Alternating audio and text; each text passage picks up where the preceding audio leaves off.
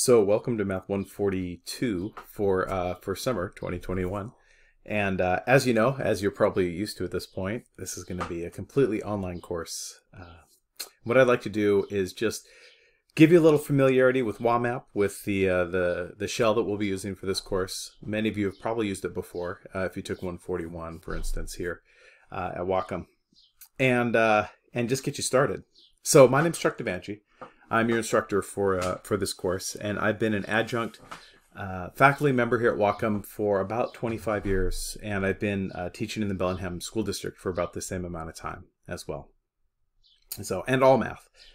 Um, so here is uh, here's what your view will look like as a student. I'm looking at student view right now um, for WAMAP, and you can see that we can kind of see two weeks out, you'll always be able to see two weeks out and, and work on stuff ahead of time if you, if you want to. Um, so a couple highlights I'd like to point out. Announcements. Here I will have some stuff posted. You've probably already looked at this uh, in order to get here.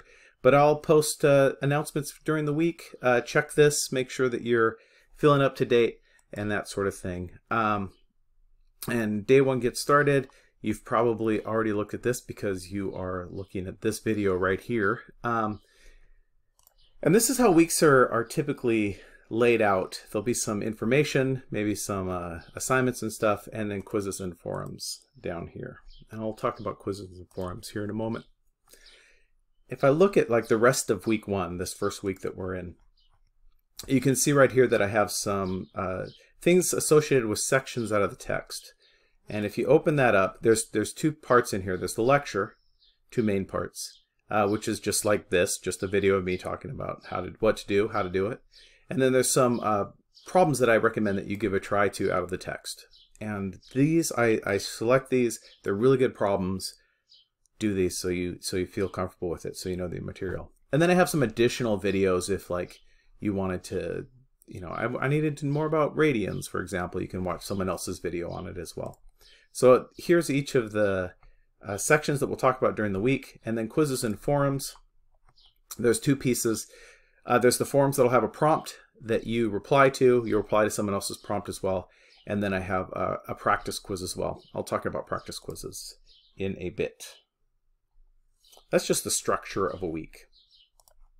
And like I said, uh, you, you can see uh, two weeks out. I, I always do that so you can work ahead. Um, folks who like to work ahead, I want to support you as much as you can because it's kind of important to be able to do that. Let's take a look in resources. And I have a couple things in here. Here's the syllabus and the printable calendar. And uh, here's a nice link to uh, questions for instructor forum, like if you have math uh, questions about the assignment or something like that. So let's peek at the syllabus first. Uh, this is my Whatcom email here. I'd really prefer that you message me through WAMAP. You're going to get a, a, much quicker response. Uh, and I just have it open more often. So check, email me through WAMAP. I'll, I'll talk about that in a minute. Some descriptions about the course and such. Um, here's some important dates where we have our midterm and our final. These are online you know, how numbers turn into grades, letters, as far as that's concerned.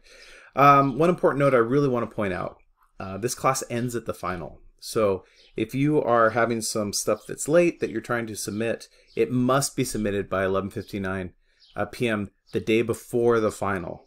Uh, no work will be accepted the day of the final or after the final. So if you're going to use late passes, they they do expire then. Um, speaking of late passes, you get six for the quarter. Uh, late passes can be used on practice or timed quizzes. They cannot be used on the forums, midterm, or the final.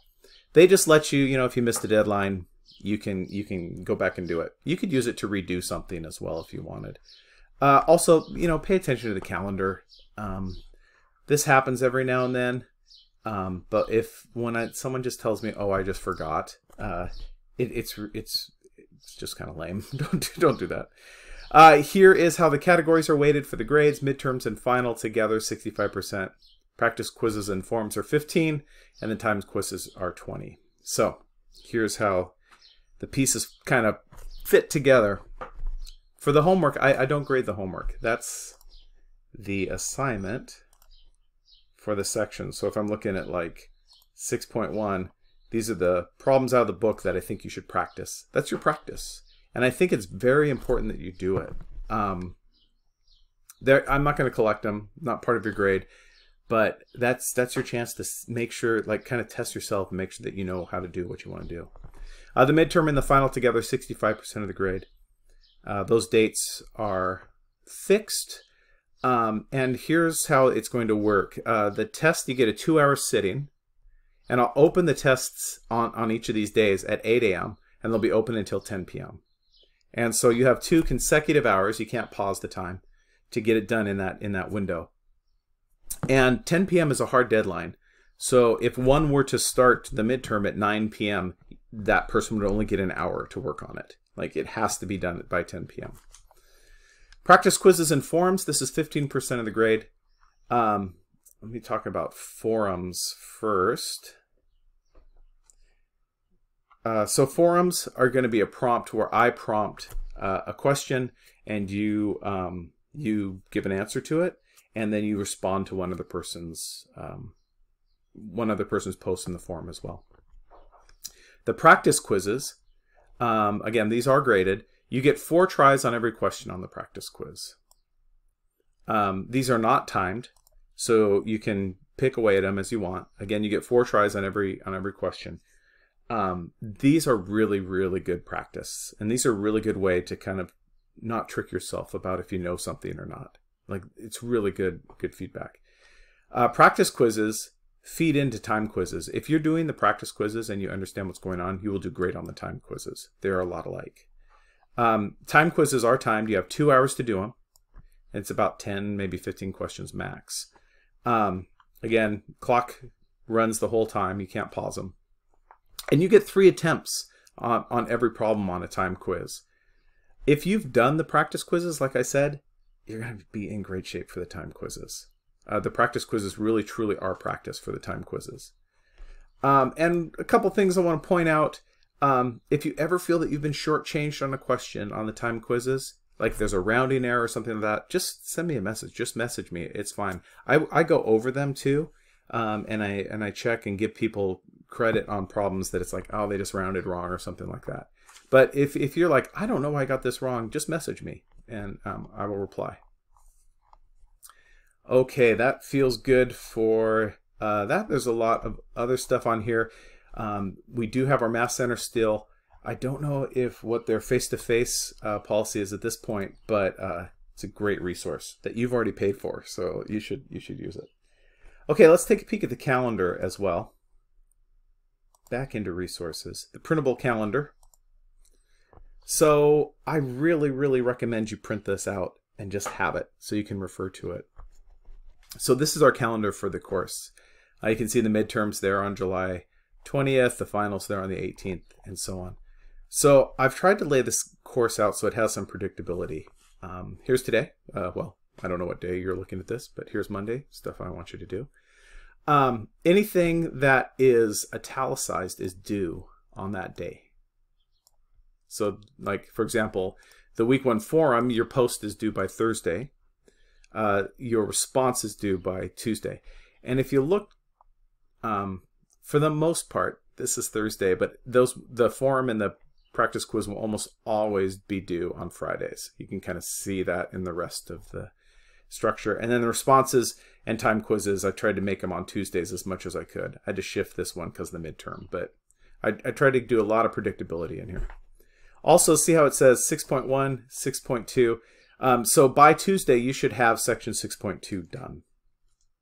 Um, if you look at this practice quiz, um, this practice quiz will pull from 5.1, 6.2, 6.1, etc.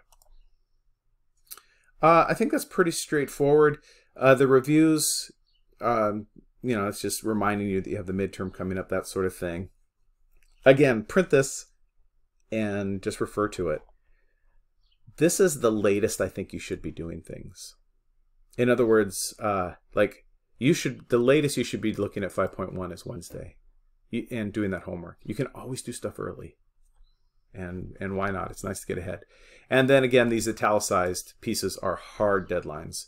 Um, can't use late passes on forums. You can use them on practice quizzes. You can use them on time quizzes. So one last piece I'd like to talk about is just messaging. Real quick. Uh, click over here for messages.